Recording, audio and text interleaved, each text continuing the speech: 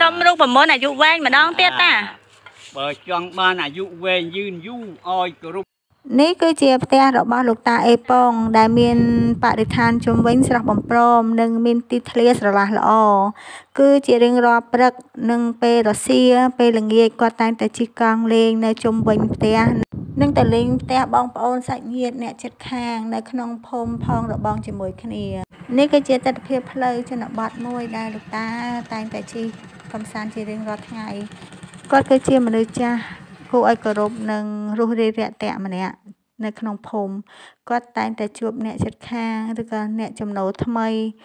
ដែលមករស់នៅសាងសង់ផ្ទះថ្មីគាត់តែងតែទៅចែកលេងកម្សាន្តជាមួយគេគ្រប់គ្រប់គ្នាដូច្នេះជាហេតុធ្វើឲ្យគាត់មានសុខភាពល្អទាំងផ្លូវកាយនិងផ្លូវចិត្តចំណែកផ្លូវចិត្តវិញគាត់មានពាក្យមួយចំនួនចង់ចែករំលែកដើម្បីឲ្យមានអាយុវែងនិងសុខភាពល្អម្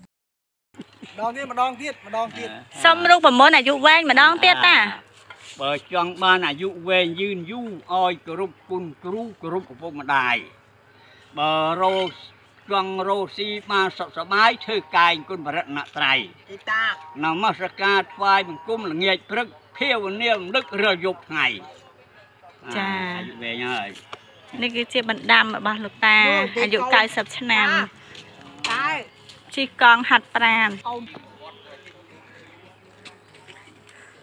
តែជិះកង់ទៅផ្ទះវិញណា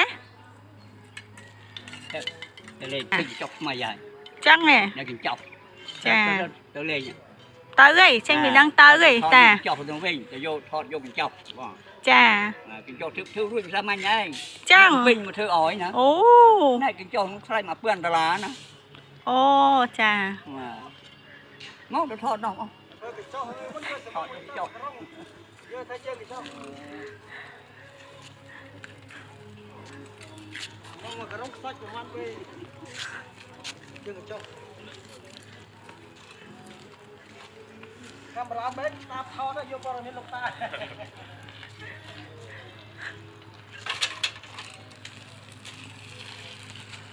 គាត់ជិះកង់ទៅហើយបងប្អូននេះ